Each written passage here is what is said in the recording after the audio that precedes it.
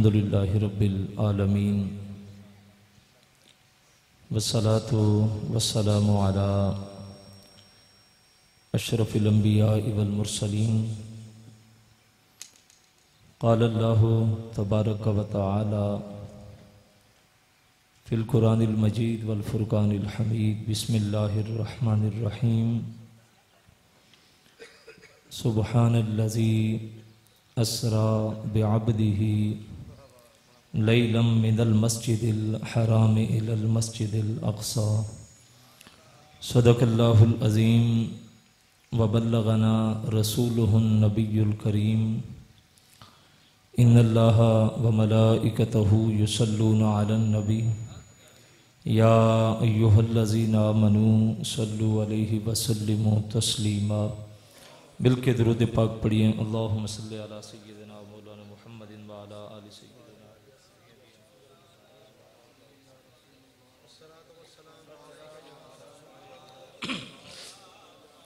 وعلا آلکا واصحابکا یا سیدی یا حبیب اللہ تمام حمد و ثنا تمام تعریف و توصیف اللہ جل مجدہ کریم کی ذات بابرکات کے لیے درود پاک کا نذران عقیدت حضور نبی رحمت صلی اللہ علیہ وسلم کی بارگاہ میں پیش کرنے کے بعد معزز، محترم حاضرین و سامعین، بالخصوص سٹیج پر جلوگر مقتدر علماء کرام، منتظمین محفل، السلام علیکم ورحمۃ اللہ وبرکاتہ۔ آج کی یہ خوبصورت محفل جو اس مقام پر منعقد کی گئی، اللہ کی بارگاہ میں دعا ہے کہ وہ ایک ایک لمحہ اپنی بارگاہ میں قبول اور منظور فرمائے۔ تلاوت قرآن مجید کو آپ لوگوں نے سماعت کیا۔ چند لمحوں کی حاضری میں آپ کے سامنے پیش کر کے جو وقت محفل کے اختتام کا مجھے بتایا گیا، میں انشاءاللہ اسی وقت کے اوپر اپنی گفتگو کو سمیٹ لوں گا۔ اللہ تبارک و تعالیٰ کی عادت کریمہ ہے کہ وہ جب بھی کسی نبی کو کسی قوم کی طرف بیچتا ہے، تو اس قوم میں جو عروج ہوتا ہے، اس عروج کا توڑ دے کے اللہ نبی کو اس قوم کی طرف بیچتا ہے۔ نبی قوم کے اندر سب سے بڑا ہوتا ہے، سب سے بڑھ کے اللہ اس کو درجات عطا کرتا ہے۔ آزمائشیں ہوتی ہیں نبیوں کی، لیکن یہ بات ذہن نشین رکھیں کہ اللہ نبی کو آزماتا ہے، دکھ دیتا ہے، تکالیف دیتا ہے، بیماریاں دیتا ہے، مشکلات دیتا ہے، امتحانات سے دو چار کرتا ہے۔ لیکن ایسی بیماری نہیں دیتا جس کی وجہ سے لوگ نفرت کریں۔ یہ جو روایات مشہور کی گئیں وائزین کے تحت کہ حضرت ایوب علیہ السلام کے جسم میں معذ اللہ کیڑے پڑ گئے تھے۔ نبی کا کام ہوتا ہے لوگوں کو قریب کرنا۔ اور اگر ایسی مرض، ایسا لاحق ہو جائے جس سے لوگ نفرت کرنے لگیں، تو پھر نبی اپنے مقصد میں کامیاب نہیں ہوتا۔ آزمائشیں ہوتی ہیں، لیکن ایسی آزمائش نہیں ہوتی جس کی وجہ سے لوگ اس سے نفرت کرنے لگیں اور لوگ دور ہو جائیں۔ باقی امتحانات سے نبی گزرتے ہیں، لیکن اللہ نبیوں کو کمالات عطا کر کے بیچتا ہے۔ آپ انبیاء کرام کے تذکار پڑھیں۔ حضرت داؤد علیہ السلاۃ السلام کو جب بھیجا گیا، تو جس قوم کی طرف ان کو بھیجا گیا، اس قوم میں اس وقت سنت کا عروج تھا۔ اور وہ قوم آگ میں لوہا رکھ کے گرم کرتی اور پھر نرم کر کے اس سے مختلف قسم کی انواع و اقسام کی چیزیں ترتیب دیتے۔ یہ اس زمانے میں اس قوم کا عروج تھا۔ اور صنعت کا عروج تھا کہ وہ لوہے سے مختلف قسم کی چیزیں تیار کرتے۔ جب حضرت داؤد علیہ السلاۃ السلام تشریف لائے تو قوم آگ جلاتی ہے، لوہا رکھتی ہے، گرم کرتی ہے، پھر نرم کرتی ہے، پھر اس سے کوئی چیز بناتے ہیں۔ لیکن اللہ کا نبی جب لوہے کو ہاتھ میں پکڑتا ہے تو لوہا موم سے بھی زیادہ نرم ہو جاتا ہے۔ اب جو چاہتے ہیں اس سے بنا لیتے ہیں۔ یہ اس عروج کا توڑ اللہ نے اپنے نبی کو عطا کر کے بھیجا۔ حضرت صالح علیہ السلام کو جب بھیجا گیا تو اس وقت قوم پتھر سے مختلف قسم کی مورتیاں تیار کرتے۔ حضرت صالح علیہ السلام نے پتھر سے زندہ اونٹنی کو نکالا اور یہ اس عروج کا توڑ ان کو عطا کر کے بھیجا گیا۔ جب یوسف علیہ السلام کی باری آئی تو مصر میں گلی گلی حسین پری پیکر موجود تھے اور مصر کے اندر حسن کا چرچا تھا۔ اللہ نے حضرت یوسف علیہ السلام کو وہ حسن عطا کر کے بھیجا، جس کے سامنے مصر کے حسینوں کی نگاہیں بھی چھک گئی یہ اس دور کا عروج اللہ نے اپنے نبی کو عطا کر کے بھیجا۔ موسیٰ علیہ سلاۃ السلام جب تشریف لاتے ہیں جس قوم کی طرف بھیجا گیا، اس قوم میں اس وقت جادوگری عروج پہ تھی۔ گھر گھر جادوگر پل رہے تھے۔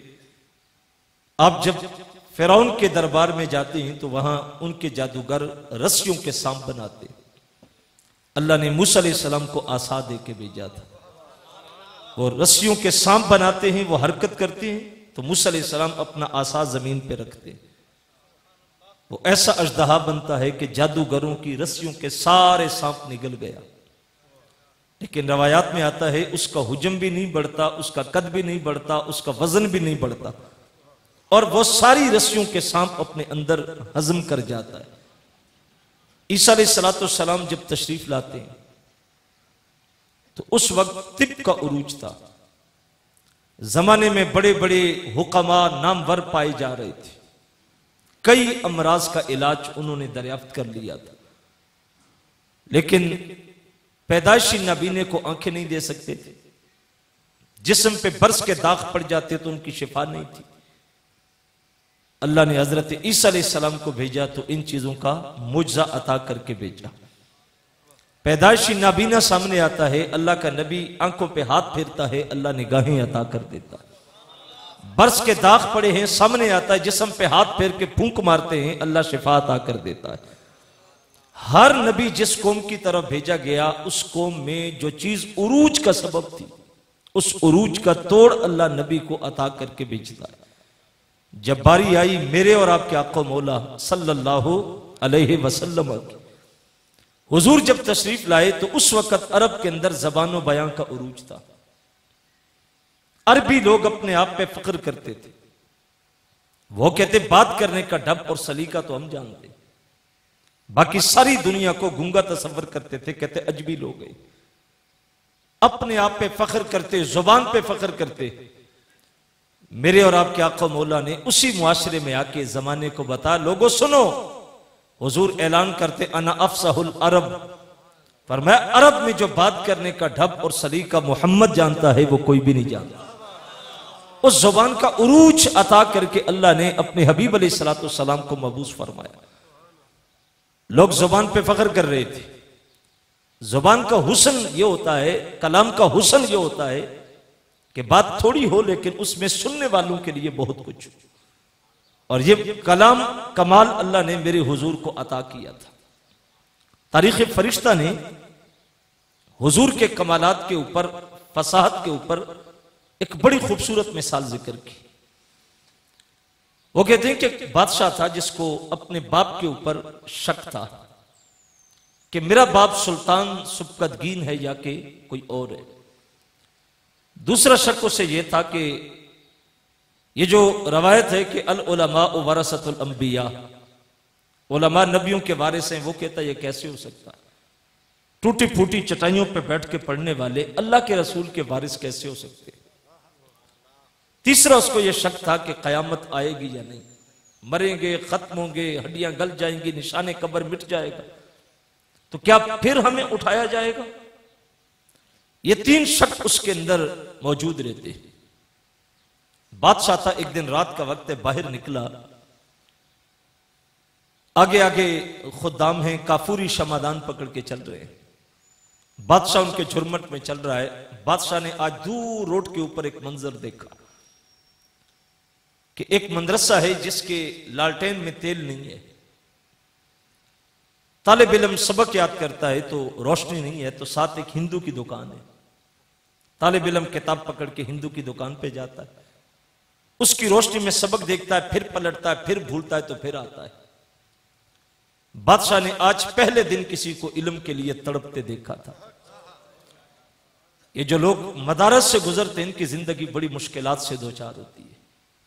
جس مشکل سے یہ پڑھتے ہیں، جن ہمارے قبلہ استادی گرامی کے والد صاحب فرمایا کرتے تھے کہ جب ہم عزب الاحناف میں پڑھا کرتے تھے تو اس دور میں اس روڈ کے اوپر فرماتے ہیں کہ رات کو بڑے بڑے ٹرالے گزرتے تھے۔ ان کے پیچھے لائٹیں لگی ہوتی تھی اور ظاہر ہے کہ وہ لوڈ ٹرالے ہوتے تھے، بڑے آہستہ آہستہ چلتے تھے۔ فرماتے ہیں کتاب پکڑتے اور اس کے پیچھے پیچھے چل کے سبق یاد کرتے تھے۔ آگے جا کے رک جاتے، پھر ادھر سے ٹرالا آتا، پھر اس کے پیچھے سبق دیکھتے دیکھتے آتے تھے۔ یہ مشکل دور سے گزر کے علماء تیار ہوتے ہیں، یہ آسان نہیں ہوتے۔ آٹھ سال گزارنے مشکل ہوتے۔ ہیں تو جب بادشاہ نے پہلے دن کسی کو علم کے لیے تڑپتے دیکھا، تو بادشاہ کا دل پسیج گیا۔ قریب جا کے خادم سے کہا کہ ایک شمدان اس طالب علم کو دے دو۔ اپنا سبق یاد کرے گا، پڑھے گا۔ بادشاہ نے کفوری شمدان طالب علم کو دیا۔ اللہ کے حضور کی روح خوش ہو گئی۔ میرے حضور فرماتے ہیں، جس نے کسی طالب علم کو ٹوٹا ہوا قلم دیا یا کاغذ کا ٹکڑا دیا کہ چلو دین سیکھے گا، لکھے گا، پڑھے گا۔ فرمایا، اللہ اس کو اتنا اجر دیتا ہے جتنا کعبۃ اللہ کو ستر بار تعمیر کرنے کا اجر ہوتا ہے۔ ایک طالب علم کو ٹوٹا ہوا قلم دینے پہ۔ یہ لوگ کائنات کے عظیم لوگ ہوتے۔ آج تو روش دنیا کی بدل گئی، علماء کی قدر و قیمت وہ نہیں رہی۔ وگرنہ یہ افضل ترین لوگ ہیں، جس کو میرے حضور فرمائے، خیرکم من تعلم القرآن۔ وعلمہ حضور کہتے ہیں، بہترین انسانوں میں سے وہ ہے جو قرآن پڑھے اور قرآن پڑھائے، سیکھے اور سکھائے۔ اس کو کون بہترین کہہ رہا ہے؟ میرے حضور فرما رہے فرماتے ہیں، لوگوں میں سے بہترین شخص وہ ہے جو ٹوٹی ہوئی چٹائی پہ بیٹھ کے پڑھا رہا ہے۔ یہ معمولی شخص نہیں ہے جو ممبر و محراب پہ کھڑا ہے، یہ معمولی شخص نہیں ہے۔ یہ اللہ کے رسول کا حقیقی وارث ہے۔ یہ وہ پیغام آگے منتقل کر رہا ہے۔ یہ وہ مشن آگے چلا رہا ہے۔ بادشاہ نے قلم دان دے دیا، تحفے میں شمع دان دیا۔ رات کو جا کے سویا۔ مقدر جاگا۔ میرے حضور خواب میں تشریف لے آئے۔ اور یہ بات بھی ذہن نشین کر لیں کہ حضور جس کے خواب میں آتے ہیں، حضور ہی آتے ہیں۔ ویسے تو خواب خواب ہوتا ہے نا۔ اللہ کے حبیب علیہ السلام نے ارشاد فرمایا، جس نے خواب میں مجھے دیکھا، اس نے مجھے ہی دیکھا۔ فرمایا، شیطان خواب میں آ کے بھی جرت نہیں کر سکتا کہ وہ کہے کہ میں محمد ہوں۔ ابن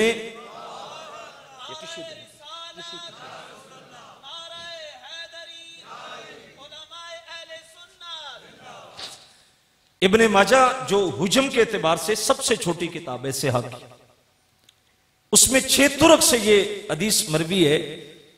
اللہ کے حبیب علیہ السلام نے ارشاد فرمایا، شیطان خواب میں آ کے بھی میری مثل ہونے کا دعویٰ نہیں کر سکتا۔ تو جو خواب میں بھی حضور کی مثل ہونے کا دعویٰ نہیں کر سکتا، اور جو جاگتے پھرتے حضور کی مثل ہونے کا دعویٰ کرے، وہ تو پھر شیطان سے بھی کوئی آگے کی چیز ہوگی۔ وہ اس سے بھی کوئی اوپر کی چیز ہے۔ فرمایا، شیطان خواب میں آ کے بھی میری مثل ہونے کا دعویٰ نہیں کر سکتا۔ کہ وہ کہے کہ میں محمد ہوں پر میں زندہ باد زندہ باد زندہ باد۔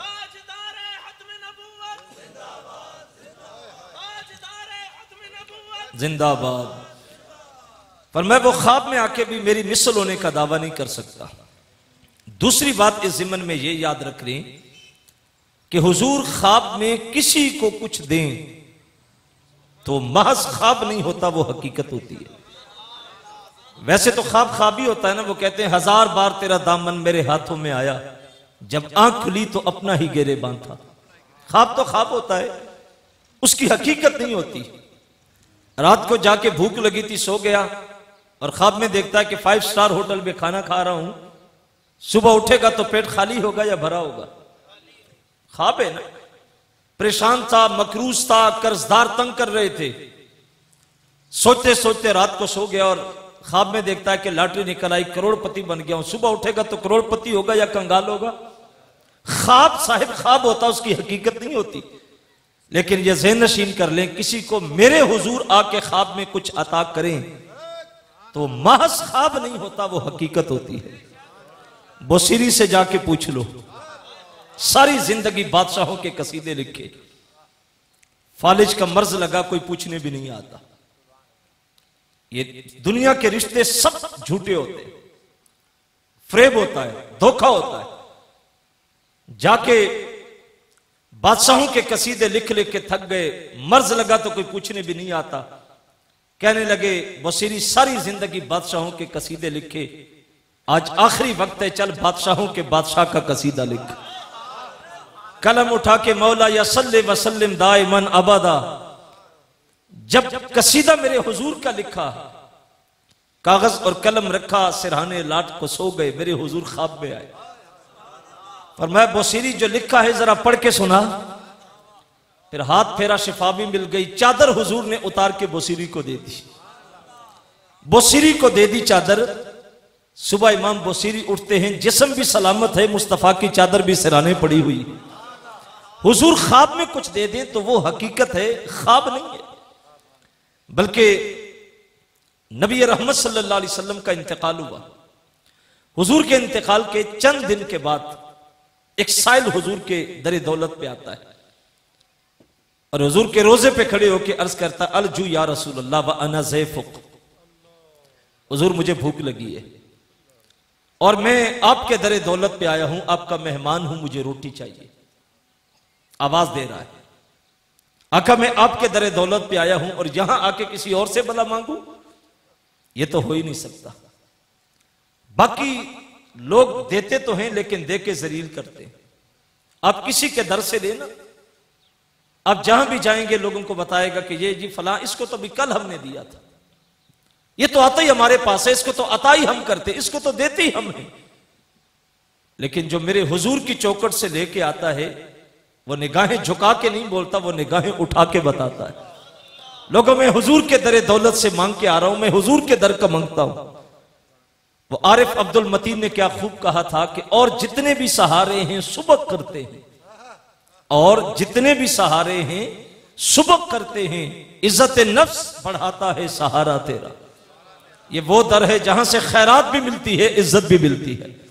اس در کا مانگنے والا آ کے فخر کر کے کہتا میں حضور کے در کا مانگنے والا ہوں۔ عزتیں عطا ہوتی ہیں، فخر کرتے عرض کرتا حضور آپ کے در پہ کھڑا ہوں، آپ کا ہی سوالی ہوں، آپ سے ہی مانگوں گا۔ بات کرتے کرتے آنکھ لگ گئی۔ آنکھ لگی تو خواب میں حضور تشریف لائے، ہاتھ میں روٹی تھی فرما، بھوک بھوک کر رہا تھا، یہ لے پکڑ روٹی کھا۔ حضور نے خواب میں روٹی دے دی۔ وہ خواب میں ہی کھانے لگا۔ کھاتے کھاتے کہتا میں نے آدھی کھائی، آدھی ہاتھ میں تھی کہ آنکھ کھل گئی۔ جب آنکھ کھلی تو دوسرا آدھا ٹکڑا میرے ہاتھ میں موجود تھا۔ حضور کچھ دے دیں تو یہ محض خواب نہیں ہے بلکہ حقیقت ہے۔ اللہ کے حبیب علیہ السلام جب عطا کرتے بادشاہ رات کو آیا، سویا مقدر جاگا۔ میرے حضور تشریف لے آئے۔ اللہ کے حبیب علیہ السلام نے اس کو ملے۔ اب اس کے تین سوال ذرا اعتراضات ذہن میں تازہ کر لیں۔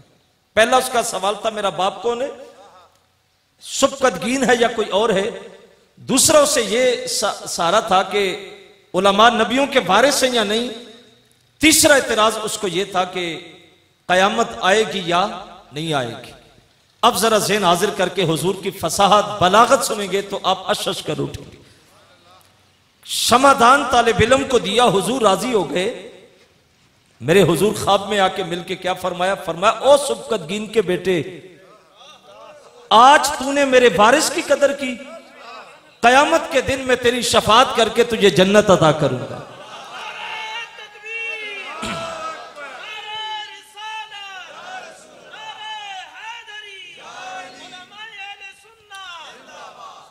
تینوں سوالوں کے جواب بھی دے دیے، ساتھ جنت کی بشارت بھی عطا کر دی میرے حضور سے بڑھ کے فصاحت اور بلاغت کسی کو نصیب نہیں ہوئی۔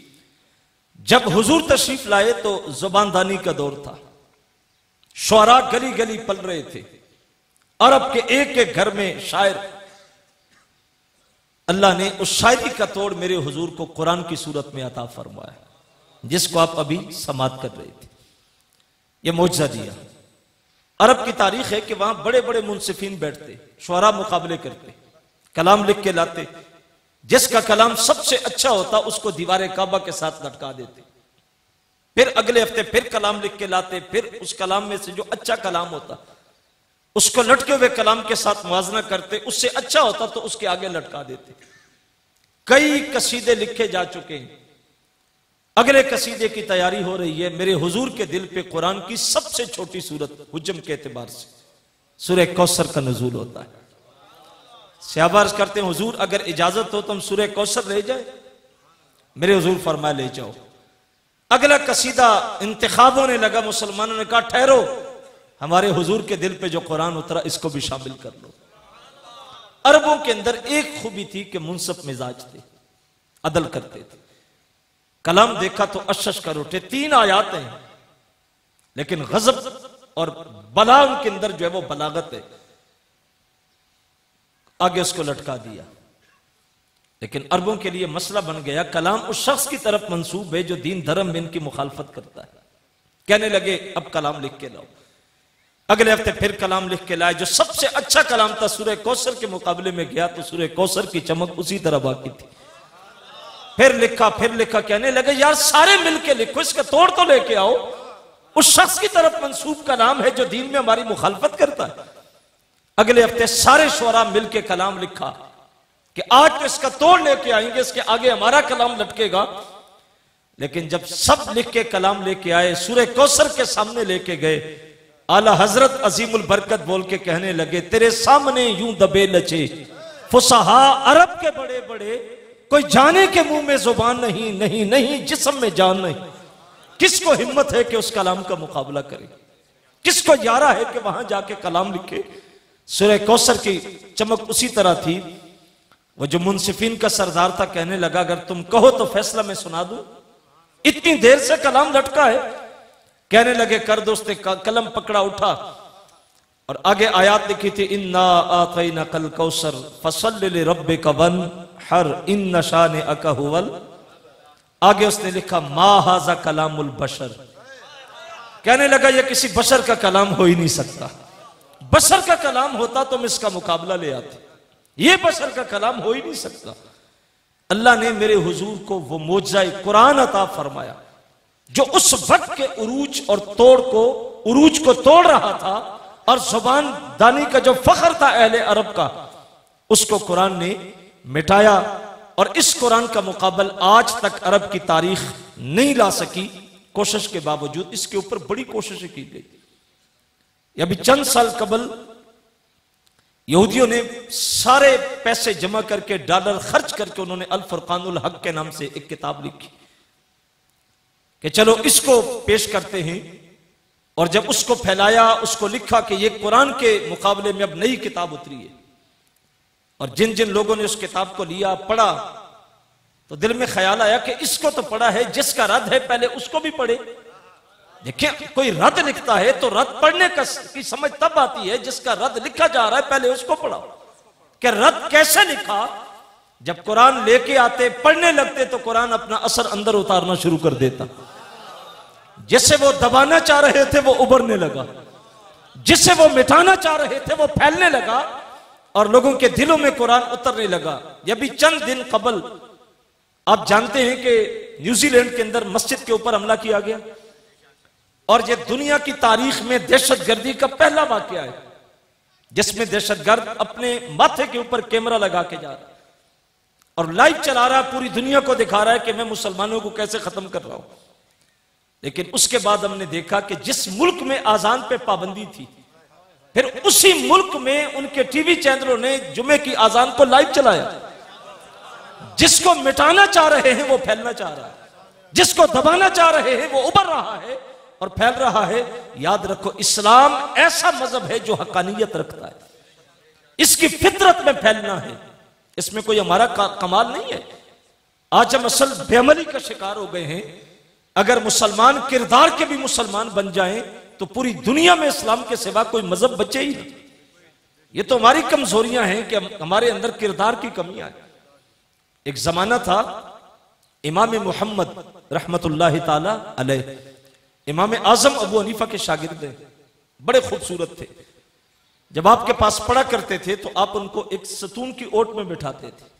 چونکہ چہرے پہ داڑھی ابھی نہیں ہوگی تھی اور حسن اللہ نے غضب کا عطا کر رکھا تھا۔ ایک دن امام اعظم ابو حنیفہ علیہ رحمہ پڑھاتے پڑھاتے دیکھتے ہیں کہ عکس پڑھ رہا ہے۔ اور عکس میں دیکھا کہ امام محمد کے چہرے پہ داڑھی آ گئی۔ فرمایا، بیٹا، داڑھی آ گئی ہے۔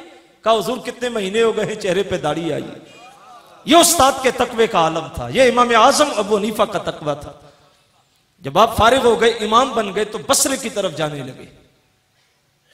لوگوں کو خبر ہوئی کہ آج ہمارا امام آ رہا ہے، مسلمان استقبال کے لیے آئے، اللہ نے حسن دے رکھا تھا۔ چہرے پہ خوبصورت داڑھی تھی، سر پہ امامہ تھا۔ خوبصورت لباس، زلف کندھوں پہ۔ گھوڑے پہ سوار ہو کے امام محمد گئے۔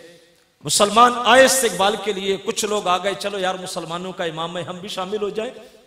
کچھ نے کہا، چلو ہم جا کے سوال پوچھ لیں گے، کوئی بات کر لیں گے۔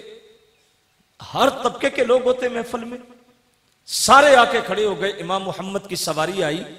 جو سوال پوچھنے آئے تھے، جو ویسے مسلمانوں کے ساتھ رواداری کے طور پہ آئے تھے، ان کی نظر امام محمد کے چہرے پہ پڑی، لبوں پہ کلمہ حضور کا جاری ہو گیا۔ مسلمانوں نے کہا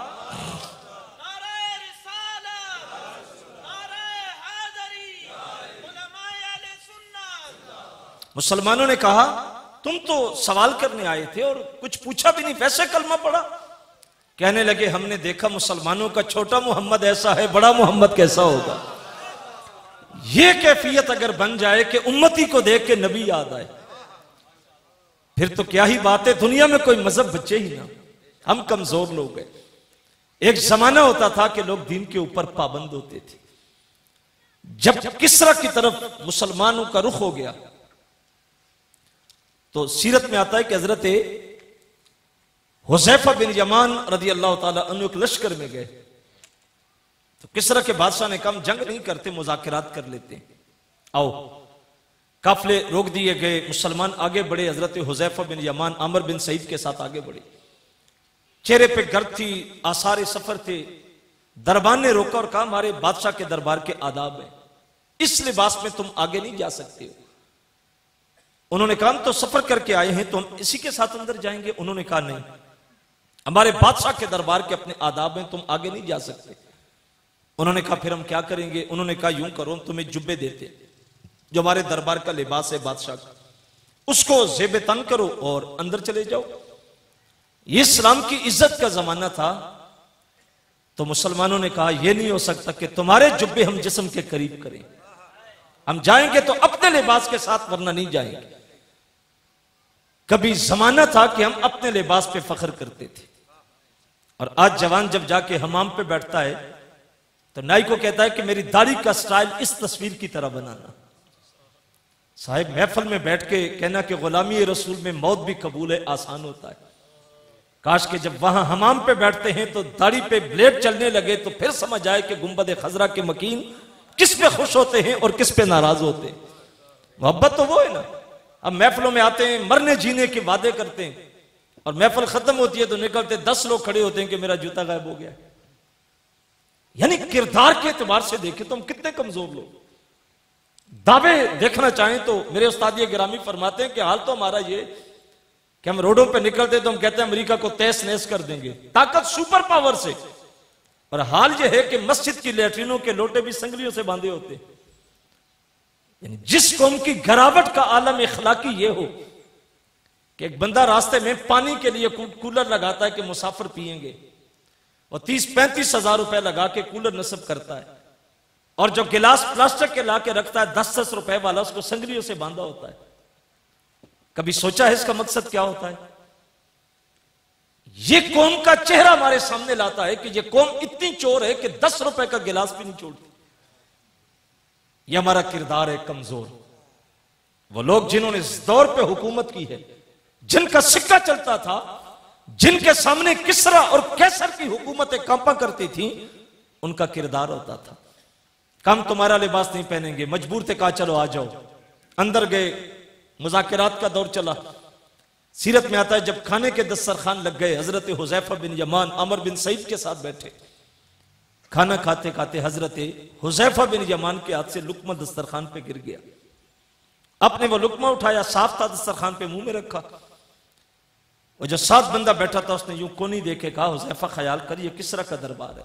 شاہی لنگر خانہ ہے اور آپ دسترخوان سے لکمہ اٹھا رہے ہو۔ تو حضرت حضیفہ بن یمان کی آواز گونجی، کہا کسرا کے بادشاہ کے لیے اپنے رسول کی سنت کو چھوڑ دوں؟ جب ہمارے سامنے ان کے تاج قدموں کے نیچے ہوتے تھے اس کی وجہ یہ ہوتی تھی کہ محمد عربی کا دین ہمارے ہاتھ میں ہوتا تھا۔ ہم جہاں بھی جاتے تھے، دین ساتھ لے کے جاتے تھے۔ آج محفل میں جو سنتے ہیں، جیسے ٹوپی مسجد میں رکھ کے جاتے ہیں، جو سنا ہوتا وہ بھی چھوڑ جاتے کاش کہ ہم اس چیز کو سمجھتے۔ تو عروج کا زمانہ تھا۔ تو آج مغرب نے ہمارے اوپر جو حملے کیے، اور دنیا کے اوپر جو دہشت گردی کی مثال انہوں نے رقم کی، ایک طرف تو ہمارے اوپر نظریات کا بھی حملہ ہے اور سرحدوں کے اوپر بھی دشمن ہمارے اوپر آنکھیں نکال کے کھڑا ہے۔ ہماری نظریات اور ہماری سرحدیں دونوں کے اوپر اس وقت دشمن کا حملہ ہے۔ آج کے دن ہمیں اسلام کے ساتھ اپنے آپ کو مخلص کرنا ہے۔ اپنی نسلوں کا تعلق اسلام کے ساتھ مضبوط کرنا۔ جب میرے حضور آئے تھے، اس وقت زبان و بیان کا عروج تھا۔ اللہ نے میرے مصطفیٰ کو قرآن کا موجزہ فرمایا۔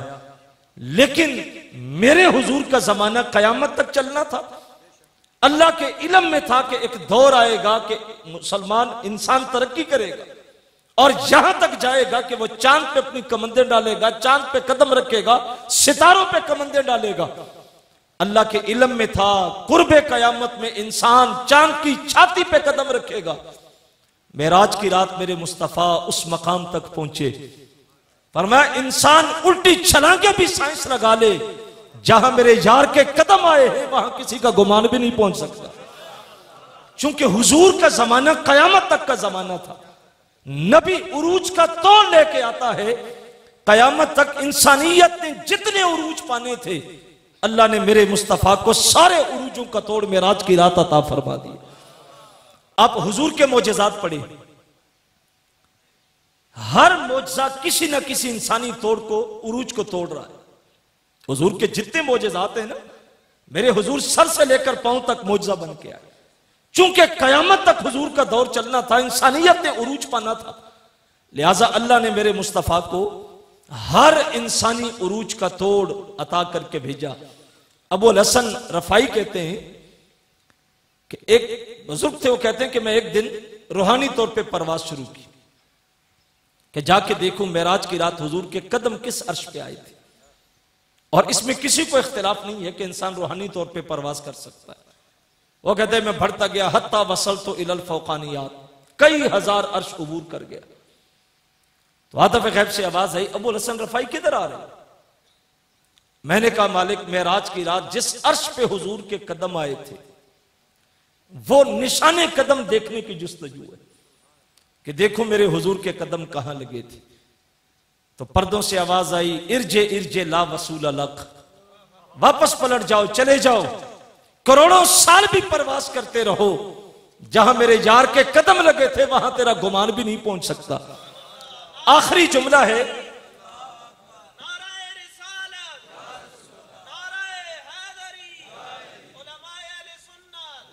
آخری جملہ دے رہا ہوں بس۔ کب واپس چلے جاؤ جس عرش پہ میرے حبیب کے قدم آئے تھے۔ ہزاروں سال بھی پرواز کرتے رہو، تمہارا گمان بھی وہاں تک نہیں پہنچ سکتا۔ مجھے بتاؤ، جس نبی کے قدم اتنے اونچے ہیں، اس کا سر کتنا اونچا ہوگا؟ جس کے نشانے قدم تک امت کے بڑے بڑے نہیں پہنچ سکتے۔ اگر نشان قدم اتنا اونچا ہے، تو بتاؤ، اس نبی کا سر کتنا اونچا ہوگا؟ تو میراج کا موجزہ میرے حضور کا قیامت تک انسانی عروج کا توڑ ہے۔ جب حضور آئے تھے تو زبان کے توڑ کے طور پہ، شاعری کے توڑ توڑ کے لیے میرے حضور کو قرآن ملا تھا۔ جو قیامت تک امت کے پاس باقی رہے گا۔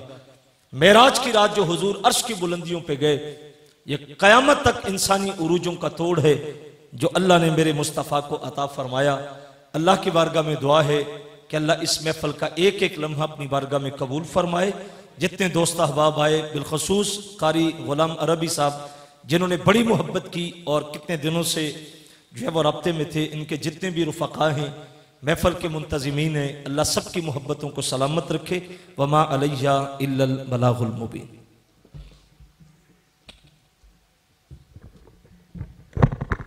ایک بار پھر جی سب کا شکریہ کاری شوکر صاحب کی جانب سے اور پوری میلاد کمیٹی کی جانب سے، پورے جتنے کامل پرش جنگ کے جتنے احباب ہیں، جو باہر سے دوست آئے ہیں، سب کا شکریہ ادا کرتے ہیں۔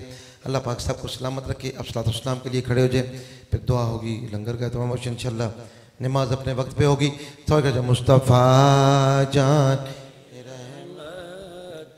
لاکھوں سلام شمع بزم ہدایت پہ لاکھوں سلام شمع بزم ہدایت پہ لاکھوں جس سہانی گھڑی چمکا طیبہ کا چاند جس سہانی گھڑی چمکا طیبہ کا چاند چمکا طیبہ کا چاند جس